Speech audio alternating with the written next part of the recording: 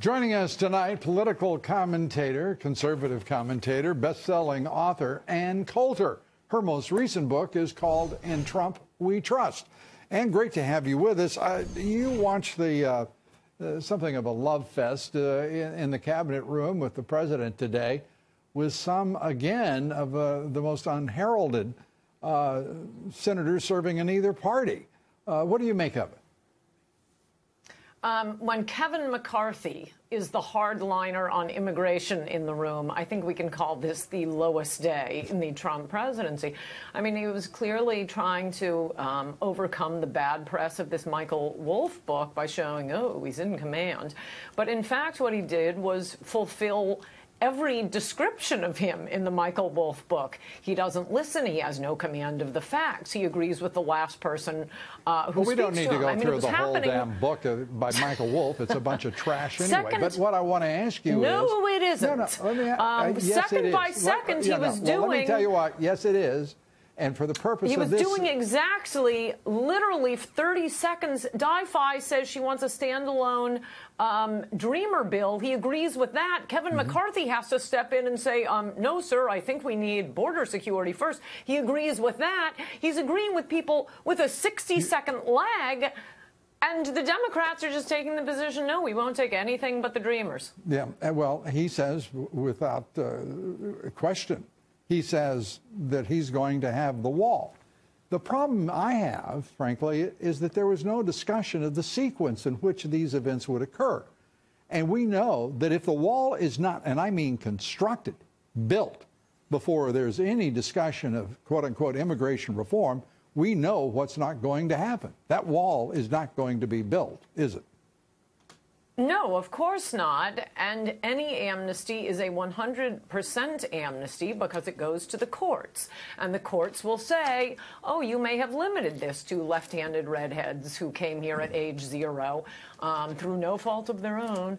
Um, but gosh, we're going to open it up to everyone. Yeah. And then through chain migration, they get to bring all of their relatives. And actually, I, mean, I can't say you're wrong. You can say anything about that press conference today, called by Trump himself. He thought this was going to be a great shining moment. At any one moment, you can say he was green to anything. He agreed with Di-Fi. Yes, we'll have a standalone Dreamer bill, just granting everybody amnesty, and we'll, we'll get to that comprehensive immigration stuff later. No, Lou. This is a disaster. It was the lowest day of his presidency. Yeah, I, I couldn't agree with you more about uh, the difficulty of the day. Let me put it that way. uh, look, I, I, am a, I am an absolute committed supporter of this president. I am also absolutely, without question and unreservedly, uh, a champion of his wall and making certain that we secure the borders before there's any talk with the. This was an assemblage of some of the worst lights of the Kennedy uh, McCain yes. uh, effort to create comprehensive immigration reform. And, and a reminder yes. to everyone in Washington what you do when you don't have a solution is you expand the problem. They made it comprehensive. Um, vast. Well, and by the way, and also, still it no seems progress as if on it. Trump it seems yes, but it seems as if Trump thinks he's going to get all this great press by giving the left everything well, they want. I promise you, he's not going to get good press from this. They're still going to say he has dementia. Already... If anything, they have more arguments now with him jumping around and abandoning his base. His only his only hope is to be pedal to the metal, fulfill his promises, build the wall, end chain, chain yeah. migration, and deport these dreamers who are again, as I said last week, they ought to go before MS-13 13. They are just a Mexican Antifa. That may be one they of are your... the worst of the illegals. It, you know, and you don't like the way they create so much uh, much trouble. By the way, the average age uh, of these so-called dreamers, the president himself refers to them as kids. They are far from it. Uh, he are... corrected himself on that. That yeah. was actually one of the high mo- moments of the press conference. I mean, every once in a while, I, I could go through and give you 30 seconds where he was great. But then, but then the next answer is, I'll take the heat. It'll be comprehensive immigration reform. well, he did say that. It's not disputing the Michael Wolff book. well, it, it is. Uh, I the reason I don't like the Michael Wolff book is is because it's filled with trash and fraud and uh, fiction And Ann, you know better than to use it as uh, some sort of uh, compass. Some of it on is. The, on the body. If you oh, actually read it, if you if you exclude the bad stuff, it's not that bad for Trump. It's you tough are on the press. good It's good on the to Russian sit here and boost a really bad book like that. Uh, you know, I- Um, I'm sure those people told him that, and they're the ones who were hired into the White House by Trump. If he doesn't want people bad mouthing him, he ought to support. He ought to hire people who supported him. Yeah, uh, or find people of integrity, which I think he has now discovered is a is a decided advantage. Ann Coulter, Yes. it's always good to have you with us. Thanks so much. Thank you. Well, Ann Coulter is the uh, best-selling uh, author. Her, you know, her latest book, "In Trump We Trust." If you want the best Trump book, get it. "In Trump We Trust," big bestseller. And her column, of course, uh, you can get it online. You can go to anncoulter.com or follow her on Twitter, Ann Coulter on Twitter, Facebook, and now Instagram. Ann Coulter, how you doing? Fine, thanks. How are you, Mark Simone? Good. You were tweeting up a storm yesterday. You didn't. Well, no, I was just being a little testy. you didn't seem happy with the president's uh, meeting there with Congress. Uh, no, nobody is, Mark. Well, I, No, I, I, he's a negotiator. Stupid, but this was bad having Bannon leave, mostly because there's no one in the White House who actually supported Trump and supported his agenda. I mean, that Wolff book, I totally believe, for one thing, it's actually not bad against Trump if you've read it. He goes after the media, calls them self righteous, don't understand Trump, makes fun of the media, makes fun of the Russian investigation. In many ways, Trump comes across very well in the Wolff Wolff book, contra his interviews. He's sort of been pigeonholed into being, you know, the pussy hat wearing head of the resistance movement. If you actually read the book, it's pretty interesting, and you can discount the false things. But these were all things that people said to him.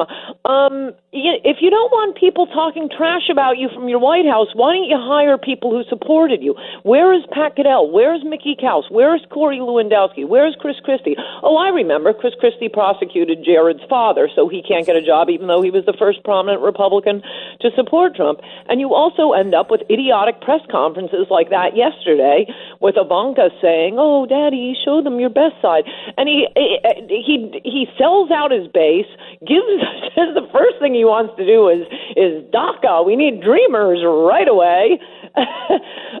he accomplishes nothing he wanted to accomplish personally. He looked utterly out of it. He doesn't understand what people are saying to him.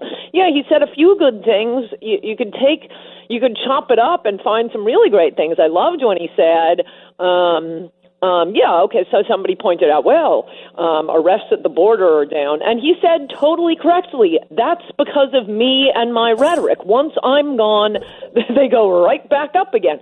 Brilliant point. That's why we need a wall. Um, he he was the one who raised when when he or somebody else talked about the Dreamers as being kids. He said, "Come on, they're not kids. We're talking about people in their 40s." Great point. Fantastic. And then Di-Fi says, "How about a standalone Dreamer bill?" He's totally for it. Wait a minute, though. I with Michael Wolff. It did, certainly didn't help him with his base. I disagree. Wait, he's a negotiator. That's just opening bids. That's round one. bid is I'm giving up everything. Ah, that's just round one. It's good cop, right. bad cop. 3D chess. I didn't realize you Yes. into a negotiation. Say, I'll sign whatever you send me, and the one thing I campaigned against, I'll sign it. Democrats who do not have a single branch of government give up nothing. Nothing. Well, they'll end up giving and up- MSNBC isn't what didn't spend the rest of the evening saying, you know, we saw a different side of Trump. Um, no, they're all giggling that he's getting rolled. No, he'll get the wall in in return for a little DACA. Well, two points. Um, now in the second year, and we we haven't even broken ground. And a little DACA is like being a little pregnant. Um, as I've said before, and I will elaborate on in my column today, we've been through this before. Do people not remember the federal courts? Remember the Hawaii judge? Remember the Ninth Circuit? Any amnesty means 100% amnesty. Number one, the immigration officials in our government themselves, they, they waive all the requirements. They did it, they have done it for every other amnesty. English language requirement, nah, we're cutting that. Fees, no, we're, we're waiving those. Back taxes, we can't enforce that. Um, oh, no crimes. Well, let's not worry about that. There will be no restrictions on who gets in. Oh, oh, with the ag- special little agricultural amnesty that Chuck Schumer slipped into um, the 1986 amnesty, all you had to do, it was supposed to be, oh, these poor, poor, hard farm workers, and I actually agree with this. I mean, in theory, um, they've been doing backbreaking work. You have all you have to do is prove you you worked on a farm 90 days in the previous year. The court said, oh, how can they do that? They were working off the books don't worry about that requirement. Well, so they were accepting the IN, the INS at the time determined that um, 900,000 of the applications were laughably fraudulent. They had applicants saying, um, you know, they pulled cherries from the ground and the cotton was purple. Of the 900,000, it was actually less than 900,000. I think it was about 860,000. They approved more than 800,000. This will go before the Ninth Circuit. In 2007, 20 years after the 1986 amnesty passed, 20 years later, the Ninth Circuit was still granting amnesties to people. Any amnesty is a total amnesty. Okay, wait. There's no such thing as a little DACA. A little DACA means the entire third world moves here and becomes a citizen, and America is over. Let's say he could get this trade, build the wall, the wall gets built, no chain migration, but we have a little DACA. Would that be okay? Again, a little DACA is a little pregnant. No, that overwhelms everything else. It goes to the courts. You must understand the going to the courts part. You have to get that. It doesn't matter what the law says. It will seem so reasonable. Chuck Schumer and Di-Fi will go on the Sunday morning shows and, oh, it's just the really, real, the valedictorians and the ones who served in the military. And then the, the next thing you know, Muhammad Atta is going to be granted amnesty by, by the Ninth Circuit. Any amnesty is a total amnesty. And the let's say we get a wall is getting to be like, let's say I invented a car that runs on dirt. Well, we are going to get a wall, and you got a builder in the White House who can make sure it gets built and on this time. Is why we voted for him. This is what I expected, but it's not happening. Okay, but let's say in the meeting he starts yelling at them and says, "Well, you're not getting any DACA," and that's it. They would have all just uh, left. No, I'll tell you exactly what his voters expected him to do. To to calmly and reasonably say, um, look, we really need a wall. And, and speaking as a father, I don't want any other parents to have to go through what Kate Steinle's family is going through here. Um, I'm horrified by the tragedy of black unemployment, and we just can't keep doing this um, to to our fellow citizens. Read the Jordan report by by civil rights icon Barbara Jordan. Um, low wage immigration hurts blacks most of all. Um, they are suffering. We have to put our own people first. So I want a wall um, and the opioid crisis. Um, that's that's just destroying family after family. It goes well beyond the overdosed kids themselves to destroy entire families. This heroin is 100% a problem of not having a wall on the border. So I'm insisting on a wall, um, which, by the way, I have the right to build without you guys in Congress. Um, and I must insist, um, if you care about the working class and especially black unemployment, we've got to end this crazy chain migration and the visa lottery. That's what he should have said. He should not have said, well, DACA we're going to do first. Well, he did say a very short version of why we have to have the wall, and he said, I don't think any of you would disagree on border security. But I think. Oh, no, no, no. The second they say border security, that's no wall. Border security is what Marco Rubio says. That means we're not doing anything. You're being conned voters. Border security, oh, we'll hire more border guards who aren't allowed to do anything, but will be saddled with pensions for the rest of our lives. All right, now here's what's interesting. Ann Coulter goes on with Lou Dobbs last night, and Lou Dobbs was uh, sounding like you. And it's like with Cronkite. When you lose Lou Dobbs, you've lost the country or your base. So, uh, you know, President Trump watches that show every night. And then after that, he started tweeting out uh, stuff a little more, uh, al- you know, along the lines of what you wanted. And he's just announced he's going to have a press conference today at 3.20 this afternoon. Who Who is? President Trump. A news conference today. So maybe he'll uh, change his tune Too a little. late. I've already written my column. Uh-oh, uh-oh. uh-oh.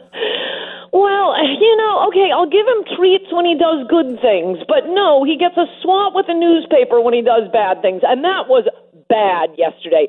Bad with a capital B. Oh no, but that's good because he when he sees you or Lou Dobbs uh, complaining, he takes that very seriously. So you may have moved him a little. You may have moved the needle on this a little.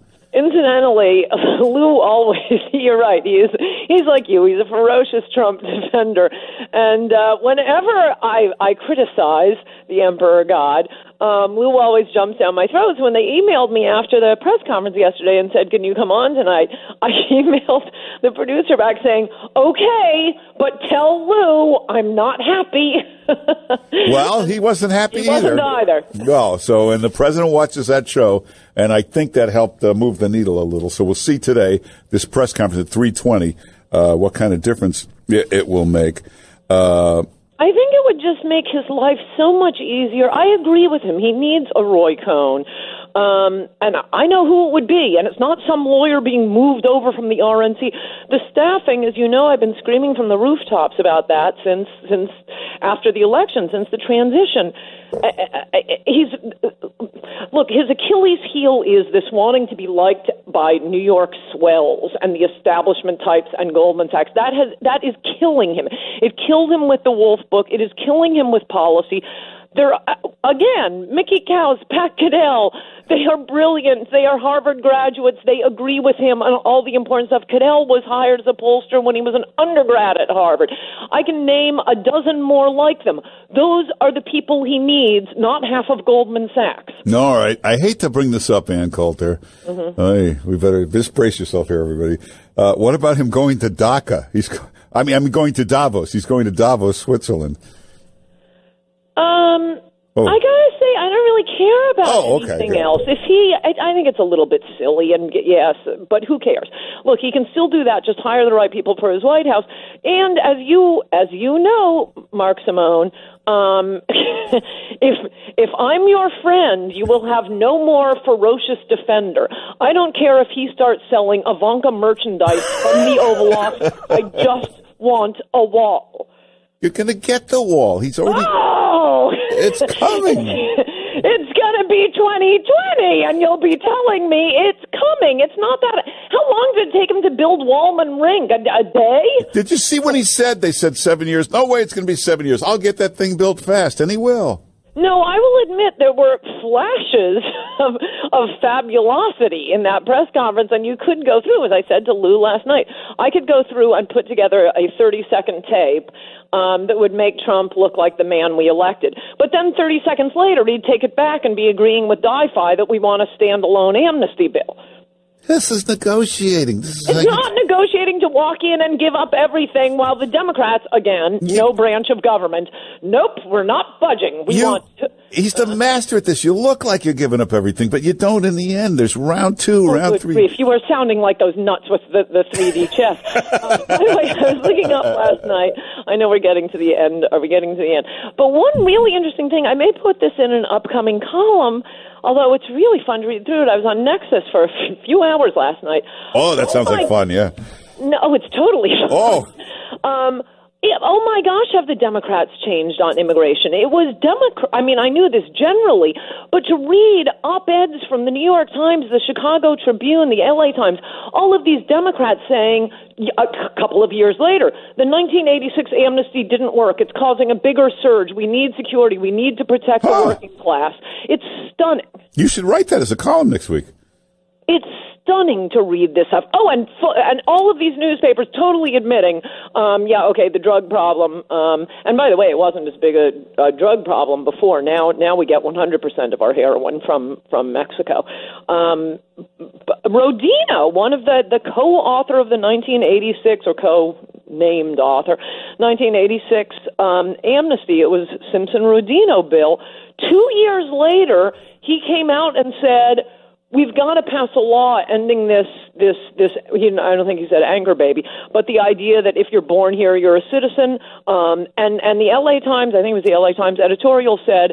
um, because the 1986 amnesty has proved to be so unsuccessful, this Rodino is embarrassed, humiliated. This is what he's proposing instead. Well, that's what they used to think. But then the donors came in and the special interests and uh, donors are the ones bothering the Republicans. The Democrats figured out the amnesty. The illegals are voting for them. That's true. well, uh, read Ann Coulter's column.